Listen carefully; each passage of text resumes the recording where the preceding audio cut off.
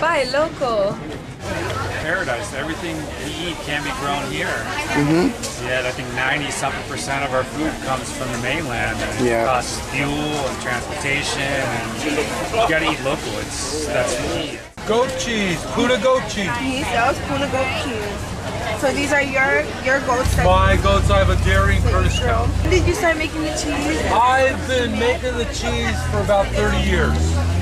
And about 28 years ago, I wrote a grant and the state gave me a grant to start the dairy. Nice. Um, how could you find your products? I am at all the KTAs on the island Nice. and also all the health food stores. What is the buy local challenge? The buy local challenge is find all local produce and eat all local produce. Sounds So, delicious. nice. Yeah, nice. Yeah. See, this is the best, I think. They look straight like me. Hi, I'm Scott. I sell honey, uh, local honey, at the Hilo Market. I collect it all myself. I harvest it down in Kalapana. And I just try to sell it direct to the customer. I grow the berry, raspberry, strawberry. You know, in our produce, leafy vegetables, right? About 90 to 95% of leafy vegetables grown locally here on our island. And as beef is concerned, about 40% of beef is locally grown. That's a lot, you know. And plus milk is 100% locally grown, you know. Also, we have 100% of papayas, bananas, and pineapple is all from here. And you know, all you know, even like our melons, you know, whenever we can, our cantaloupes, our honeydew, our watermelons is all locally grown, and especially during Halloween, we try to bring in locally grown pumpkins. You know, local products grown here is important. Number two, local products that's manufactured here is important. You know, things that's made on this island is so important, like tofu or like we have some of our juice that's manufactured. Uh, we have some pickles and stuff that's manufactured here. Because what happens is that all of the excess products or the leftover or surplus products or the grade B products are being able to put into a value added thing like kimchi, right? So kimchi, for example, you have Chinese cabbage, right? So we buy Chinese cabbage. The leftover Chinese cabbage, or the things that's overabundant, we use it and make kimchi. Because there's this big word right now we learn, sustainable, right? We want to all be sustainable, so you know one day we all want to be able to make sure that we're not dependent on all these things that come coming from the mainland, right?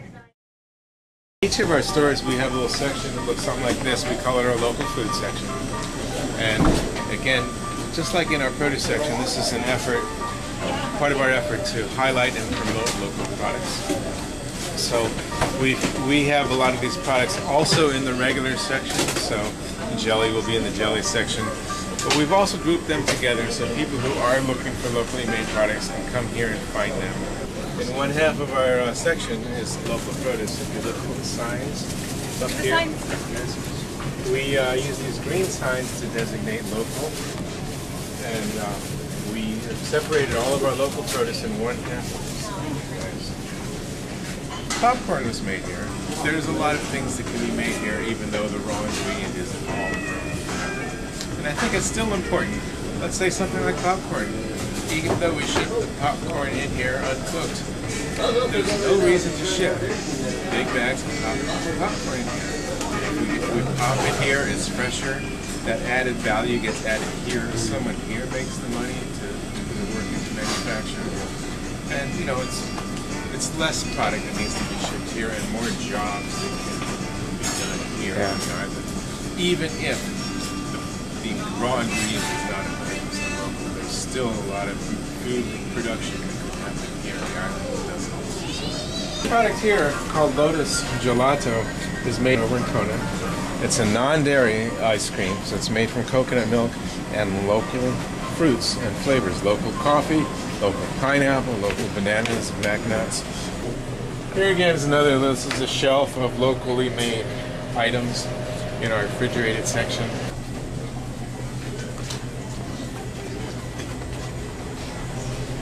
These are a few more locally made products. The, the, the tofu, the products made from tofu, the sauerkraut, the salsas.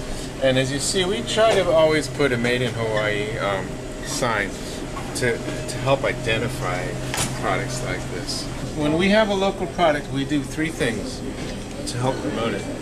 We'll give it a, a desirable shelf placement. We'll put it like sort of eye level so people see it. We'll put a sign in front of it saying made in Hawaii so people can identify that as a local product. We also price it lower than we would if it was a mainland product. So oh. we're, we're giving that product every possible advantage. We feature all the locally made beers, again with a sign that says made in Hawaii, with a, with a low price, lower price than it would be if it was a mainland product. I think that know we have to learn to be concerned with our own health. And in terms of uh, the reasons to eat local, I think the youth, just like the adults, need to be educated on the importance of that. You know, we need to we need to learn to realize that food that's grown or manufactured here benefits our economy. It's our brothers and sisters and aunts and uncles that get they're getting jobs that wouldn't be here if the food wasn't made here. Um, there's also, you know, you're going to have a fresher product and you're going to have a higher quality product if you buy it from a local farmer or a local food manufacturer. I also think there's a little political thing where if you're only buying food from really large multinational corporations, there's one way of looking at it as though every dollar you spend is kind of a vote. Who are you voting for? When you go into McDonald's, who are you voting for? You're voting for a big multinational corporation that doesn't really care about you. When you go into a local restaurant or buy food from a local market, you're voting with your dollars to support people who are living and working here a project for the last week of September for people to eat locally. And so we're kind of like